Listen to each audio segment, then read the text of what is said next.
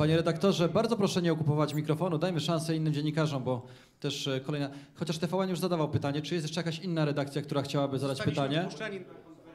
Bardzo. Ja wiem, ale umawialiśmy się, bo jest dużo dziennikarzy, że każda redakcja będzie mogła zadać jedno pytanie. Bardzo proszę tutaj, proszę puścić kobietę. Państwo w TVN mówi się dużo o prawach kobiet, a kobieta stoi za pana plecami. Proszę, puść. Ale pu- wpuśćmy kobietę, dajmy szansę kobietom. Czy kończymy konferencję? Państwo już nie macie pytań? Bardzo proszę, puśćmy redakcję. Dopuśćmy redakcję, bardzo proszę.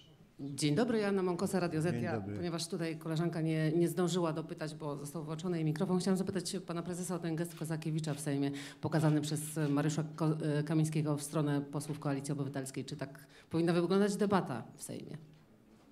Ja nic nie wiem o żadnym geście Kozakiewicza, znaczy wiem co to jest gest Kozakiewicza i doskonale pamiętam tą piękną chwilę, która cieszyła tylko nie tylko Polskę, ale kawał świata.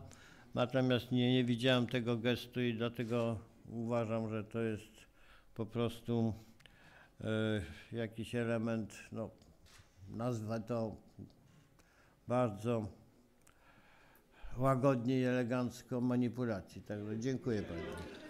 Szanowni Dziękuję Państwo, bardzo proszę, kolejna redakcja. Czy są jakieś pytania najlepiej w temacie może dzisiejszego spotkania, konferencji, tego co dzieje się w Polsce z mediami publicznymi, jak Proszę łamane jest państwa, e, prawo?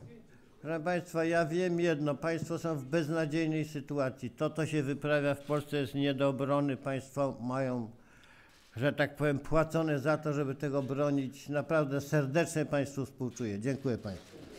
Na tym kończymy naszą konferencję prasową. Dziękuję serdecznie Państwu za uwagę. Zapraszam na kolejne. Do zobaczenia. Dziękuję serdecznie.